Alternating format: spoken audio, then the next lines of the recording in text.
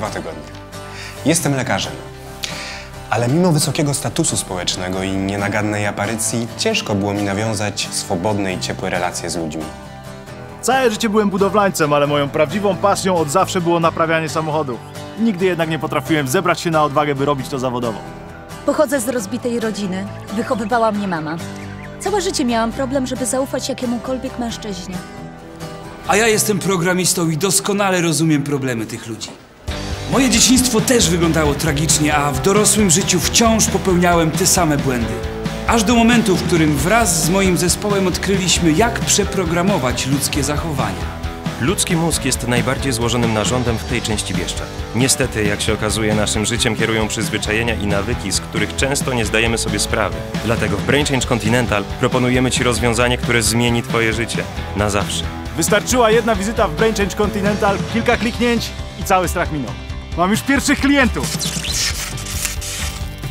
Nowatorska technika polega na nadpisaniu starych nawyków poprzez sygnały wysyłane do rdzenia mózgu.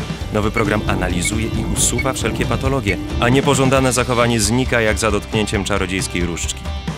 Dzięki pomocy wybitnych programistów mój świat zmienił się nie do poznania. Podobnie jak stosunek moich... Kochaj mnie! Kochaj mnie! Kochaj mnie! Technika jest ciągle dopracowywana, a liczba zadowolonych klientów rośnie z każdym dniem. Poznałam Bartka. Jest wspaniale. Pomogliśmy już tysiącom ludzi w całej Polsce. Możemy pomóc i Tobie. Przyjdź, napij się dobrej kawy i zmień swoje życie. W Brain Change Continental każdy zabieg dostosowywany jest do indywidualnych potrzeb naszych klientów. Każdego traktujemy tak, jak sami chcielibyśmy być traktowani, gdybyśmy mieli problemy z głową. A bugi zdarzają się naprawdę tak rzadko, że po prostu... No, rzadko. Rzadko. Brain Change Continental, by życie wreszcie było proste.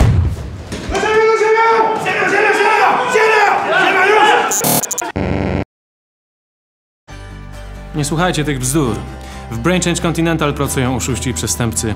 Mamy informacje o 63 zgonach i 120 przypadkach choroby psychicznej. Ci ludzie mieszają w głowach. Jeśli jesteś programistą i chcesz dowiedzieć się naprawdę wartościowych rzeczy, przyjedź na konfiturę 2016, która odbędzie się 2 lipca w Warszawie. Zasięgnij informacji ekspertów i prawdziwej wiedzy. Możemy się tak umówić? Okej. Ja tylko powtórzę. Konferencja Konfitura 2016. 2 lipca, Warszawa. Wszelkie informacje dostępne na stronie i w linkach na planszy. Tej planszy.